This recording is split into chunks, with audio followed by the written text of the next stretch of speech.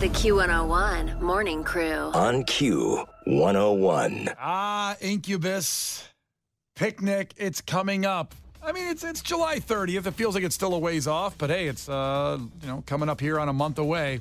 PIQNIQ with Incubus. Also, beach weather. My guys, Giovanni and the Hired Guns, Badflower, and Paris Jackson. That's Kenzie's girl. Yes. Michael Jackson's daughter is there as well.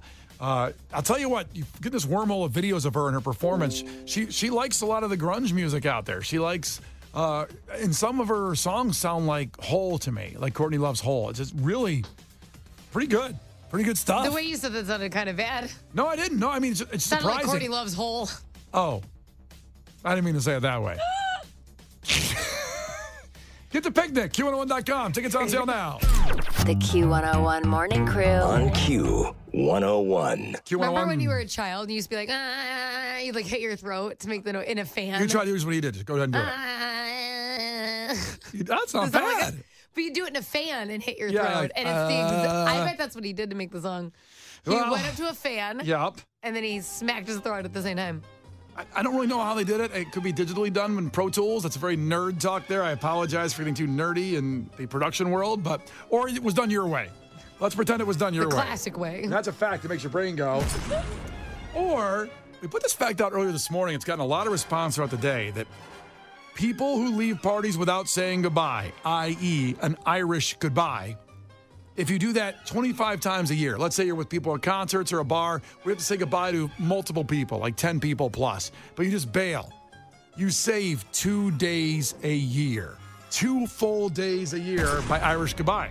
Amen. And that's your move. Listen, I'm the king of small talk. I have to actually spend a little bit of time with everybody in line when it's I'm leaving. Everybody's there at the bar, the bartender, the waitress, the doorman. I'm going to talk to him a little bit, the cook.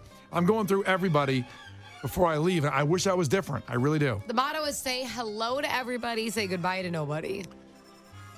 Have you ever had that bite you in the ass?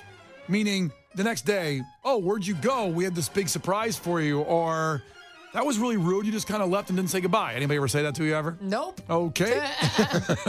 It's uh it's been pretty good. All right. I'm just curious our listeners of who does the Irish goodbye and who doesn't. You know, do you do you just bail out and go?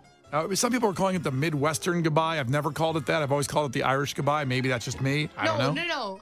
Irish goodbye is supposed to be the quick one. They that's they say Midwestern is when you stay a long time. Oh. so different. They were like, oh, Brian does the Midwestern goodbye because you spend a long time. I misunderstood that. I've never Yeah. heard it called that either. I just call it I'm the king of small talk in Chicago, and I like to talk to everybody. I'm very curious about your life. When you're saying goodbye, though, that's a hello conversation. I know, even goodbye, I might have missed something in what we're talking about. I don't know. It's Nope. uh, how do you guys? I've saved a lot of days, baby. Clearly, uh, if you go out 25 times a year and you Irish goodbye, you save two full days of your life. It's a lot. It's a lot. So that's the lesson. Uh, do that. Don't do what Brian does. Do what Kenzie does. Yeah, Kenzie special. Only The Q101 Morning Crew. On Q 101. The Q101 Morning Crew. On Q 101. I think I just blew Lauren away with another fact that makes your brain go about 311 right there. It's Q101, Brian and Kenzie, that they are the longest running band with the original lineup and never changed the lineup at all. That did blow my mind a little bit. What blew my mind more is what you call dancing. Uh, well, I, I get I get a little giddy when it comes to 311, Yeah, a little bouncy. and a lot of got very uh, violent over there, kind of. I dance like no one's watching. It's true. Yeah, I can see that. You, You do a lot of things like nobody's watching. you dance like I wish I wasn't watching. That's Q101. Got your takeaways coming here in a second. Lauren's here, of course. Uh, let's get right to the takeaways, actually. Yours at 312 591 8500. Takeaway Tanya says, Who needs a beer cart girl when Kenzie has a weenie wagon? Oh, I thought it was a good job. Hey, we, we're going to get a weenie wagon in front here. Uh, we're going to do that. Well, whatever. Eric texted in and said, Sludge, I mean, Brian, Yep. thinks Paris Jackson sounds just like Courtney Love's Hole. She does.